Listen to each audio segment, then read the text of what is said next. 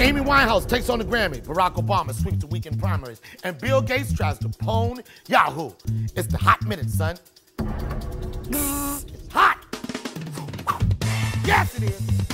Are you hot? It's hot. What's up, freaks? It's your boy Donnell Rawlings. And just like Black History Month, we got the shortest time to do anything. So let's jump to it, shall we?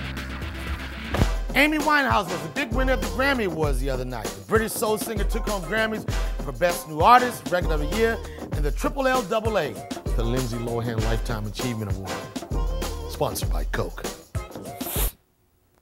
A cola. She does drugs, man. I like the oink. Lindsay Lohan and Coke. A cola. For this award. Is that camera on? Barack Obama narrowed Hillary Clinton's already thin lead by winning all the weekend primaries. Obama mania is sweeping the country. You need change. You need change, and I, if I'm elected, will give you change. Barack Obama, Barack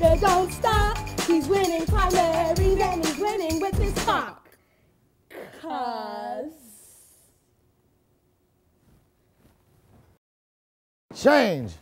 And in literature, from the same people that bought you Your Mama Jokes Volumes 1 and 2, it's Yo Obama. Yo Obama is so fat when he sits around the house, he really sits around the house. Yo, what you say about my Obama? Yahoo rejected Microsoft's $44.6 billion takeover bid.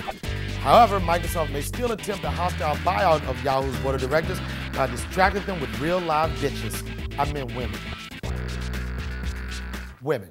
Mr. Gates, how did you finally gain control of the company? Well, the way I did it was with my big black hard drive and a lot of money. I make it rain, bitch. I make it right, I make it right. I'm in this bitch. Woo!